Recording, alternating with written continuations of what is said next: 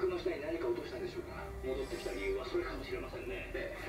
つまり前日この別荘に来た藤井社長はこの部屋で何かを落とした。当日そのことに気づき危険を冒してでもどうしても戻ってこなければならなくなってしまった。じゃあ何を